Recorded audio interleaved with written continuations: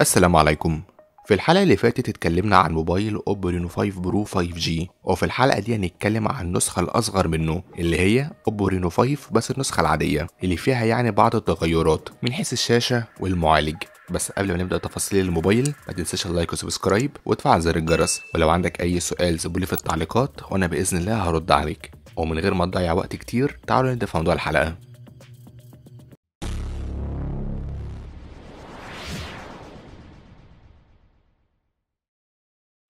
أول حاجة هنبدأ بيها كالعادة هي هيكل وخامات تصنيع الموبايل. الموبايل هيجي بطول 159 ملم وعرض 73 ملم وسمك 8 ملم وبوزن في حدود 172 جرام وظهر الموبايل هيجي مصنوع من الإزاز مع frame من الألمنيوم مع وجود أربع كاميرات خلفية وفلاش في ظهر الموبايل وللأسف مش بيجي عليه أي طبقة حماية. ودي طبعا نقطة مش كويسة في الموبايل وبيدعم تركيب شريحتين اتصال من نوع النانو مع دعم شبكات الجيل الثاني والثالث والرابع والخامس زائد إن هو بيدعم مدخل السماعات التقليدي 3.5 وده عكس النسخة ال Pro اللي مش بتدعم منفذ السماعات. وبالنسبة لصوت الموبايل الخارجي فالموبايل هنا هيجي بصوت عادي. آه عادي وده طبعا يعتبر عيب بالذات إن سعر الموبايل غالي شوية.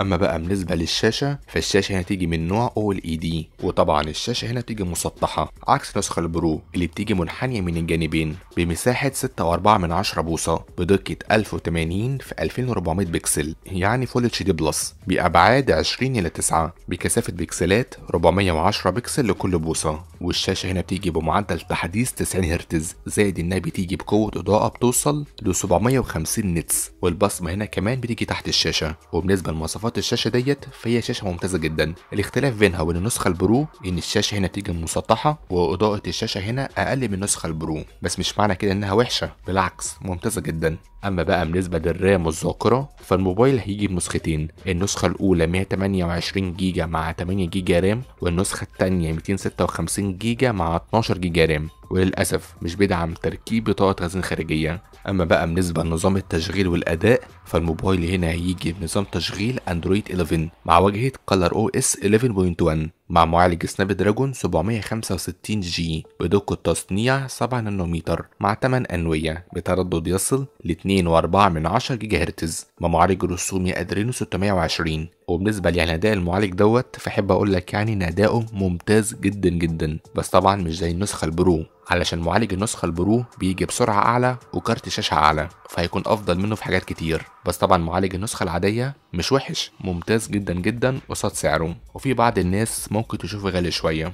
وبالنسبة لكاميرات الموبايل فالموبايل هنا هيجي بأربع كاميرات خلفية الأولى بدقة 64 ميجا بكسل فتحة عدسة 1.7 والكاميرا التانية بدقة 8 ميجا بكسل فتحة عدسة 2.2 وهي كاميرا ultra wide بتصور يعني بزاوية واسعة والكاميرا التالتة والرابعة بدقة 2 ميجا بكسل فتحة عدسة 2.4 واحدة منهم macro وواحدة sensor وبيجي معاهم flash LED وبيدعموا تقنية البانوراما وال HDR ويقدر يصور فيديو بدقة 4K بسرعة 30 إطار في الثانية وبدقة Full HD بسرعة 120 إطار في الثانية. أما بقى بالنسبة للكاميرا الأمامية فالموبايل هنا هيجي بكاميرا أمامية واحدة بدقة 32 ميجا بكسل فتحة عدسة 2.4 وبتدعم تقنية ال HDR وتقدر تصور فيديو بدقة Full HD بسرعة 30 إطار في الثانية. وبالنسبة يعني أداء جودة الكاميرات ديت فمتوقع يعني إنها تديك أداء ممتاز جدا جدا زي ما عودتنا شركة أوبو في سلسلة ال Reno. أداء الكاميرات فيها بيكون ممتاز.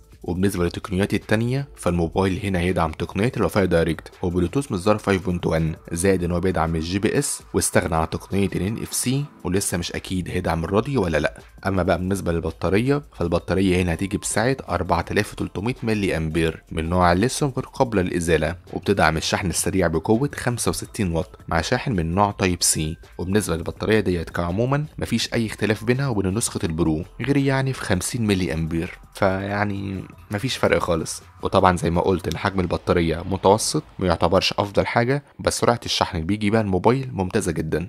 وبالنسبة لألوان الموبايل فالموبايل هنا هيجي بثلاث ألوان اللون الأسود والأزرق والأرجواني وأخيرا سعر الموبايل. الموبايل نزل بسعر 410 دولار يعني حوالي 6500 جنيه مصري و1550 ريال سعودي و370 درهم مغربي و1100 دينار تونسي و53 ألف دينار جزائري و485 ألف دينار عراقي. وبالنسبة للأسعار ديت دي أسعاره في بلد الأم اللي هي الصين. فطبعا لما يجي الوطن العربي لسه فيه جمارك وضرايب. فأكيد السعر هيكون أغلى من كده بشوية.